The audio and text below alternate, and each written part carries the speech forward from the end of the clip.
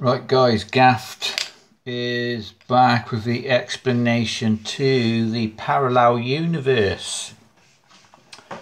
Now I showed you a trick the other day and a card had a hole and it turned into a square hole. Well somebody in the comments said about maybe you could do it as a um, card change, colour change or whatever. I can't remember what he said now about changing the card but I thought oh let's have a go and see if we can do a colour change now. So it does require three cards. A seven of spades on a red back, a seven of spades on a blue back, and a king of diamonds double faced playing card. And some good old roughing balm. Now if you do not have roughing balm, this will work with rough and smooth spray.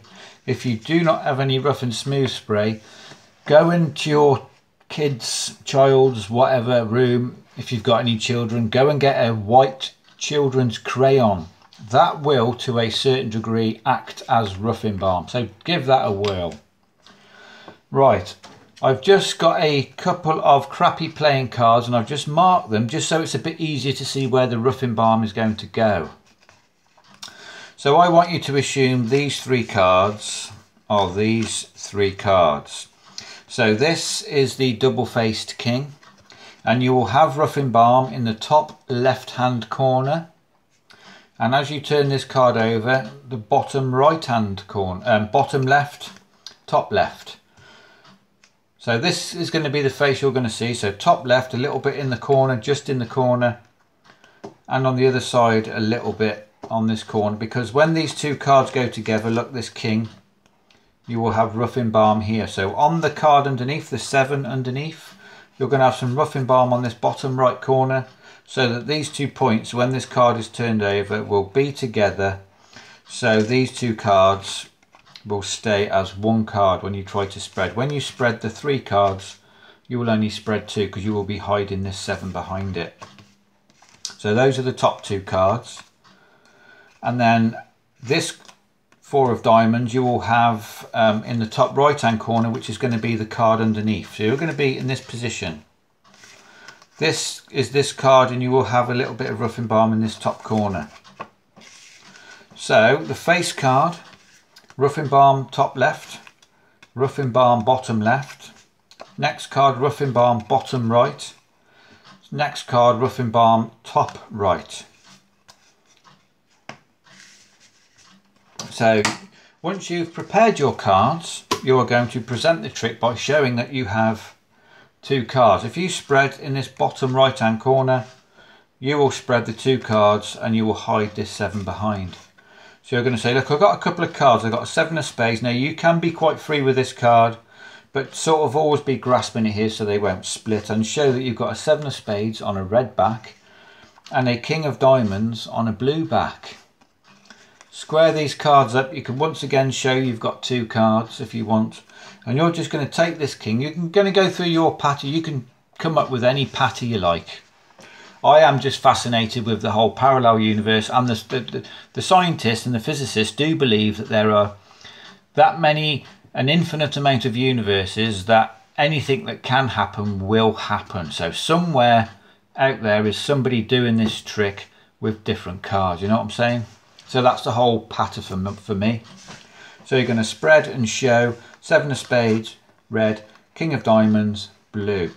Turn this king over and then you're going to turn these cards like this. And now you can go into your pattern about in a parallel universe the cards would be a different colour or whatever. And then when you spread from this bottom corner again, boom, you will show the seven of spades but this time the seven of spades is now a blue back and the king is now a red back. What? Because you you've just switched the cards over. So this top card now is a double face card. It's a double card which is just adhered with this roughing balm in this bottom corner. So let me just set it back up again. That's it. That should be it. So we're going to show you've got a king of diamonds, seven of spades, the seven's red and the king is blue. We're going to turn the king over, flip it over. You could give it a magical gesture if you want. Know when you spread the seven is blue and the king is red. That is crazy. Um, when You can turn this over if you want, but I'm not sure where the roughing balm is. You can't spread from this corner because you'll flash all these cards. You might be able to, oh, maybe this top corner. Okay, this top corner seems to have roughing balm, so you could put these on the table and spread from here to show the two cards only. So let's just turn that back over. Turn it over that way, flip it back over. These two cards flip over and it should be set up again. Right, let me just show you something with these two cards. A red 7 and a blue king. We're going to give them a little wave and a spread and now we've got a blue 7 and a red king. Oh, you can't spread from there. Oh, you can. Can you spread from there? Or you could spread from the bottom and show. That would work. So once more, we'll turn that over, flip it this way, separate those two cards, and you should be good to go. Right. Seven of spades, king, blue, magical wave, seven of spades, red, king,